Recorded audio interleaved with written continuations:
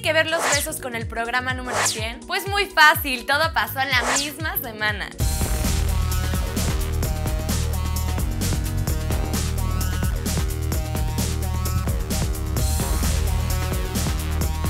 Esta semana celebramos al 100 los 100 programas del hormiguero. Pues, ¿qué te puedo decir? Felices estamos celebrando los 100 primeros programas del hormiguero. El 1, el 2, el 3, todos han sido maravillosos, todos han sido muy divertidos.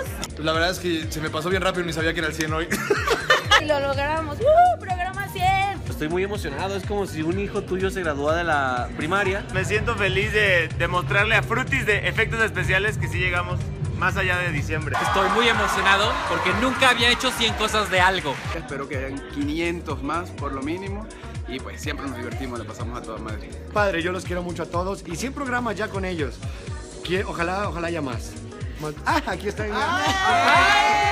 El niño Mauricio, Mau Nieto y Lalo Urbina estuvieron entaconados junto con Geraldine Bazán para una carrera de obstáculos que se vivió en la colonia. Arena, pasto, pelotas de ping-pong, subidas, bajadas, le dieron la victoria a Lalo Urbina. Geraldine, ¿qué onda? Llevas años de experiencia con los tacones y fuiste el último lugar en la carrera. Un punto menos para las mujeres gracias a ti. Si vieron a Linda Cardellini, seguramente escucharon la voz de Aida. Ella nos interpretó todo lo que la actriz decía al español. Si creían que solo se necesitaba de un intérprete para un invitado internacional, están totalmente equivocados. O sea, están chavos. Ana interpreta todo lo que dice Mauricio y los demás conductores, chistes, todo el show. Ana y Aida son intérpretes simultáneos. Es muy divertido ser las intérpretes del programa.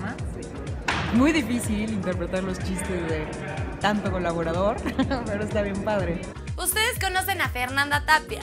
Está loca, de verdad está loca. Después de manejar un go-kart a toda velocidad en el set que casi lo rompe, le ganó la emoción. No, le ganaron las ganas de besarse al productor, al floor manager, al asistente de contenidos, a George, al Mark el ilusionista y a Mark más de una vez.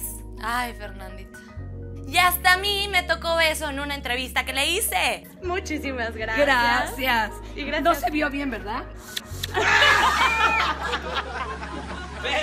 Cuando te toca, te toca. Y cuando no, ni aunque te pongas. Así vivimos la semana del programa número 100. Si quieren estar informados de la colonia al 100% como el programa número 100, pueden entrar a Facebook, Twitter o YouTube. Y también pueden entrar a las mías, Facebook, Twitter, Vine y YouTube. Yo soy Katerushka, la hormiguera.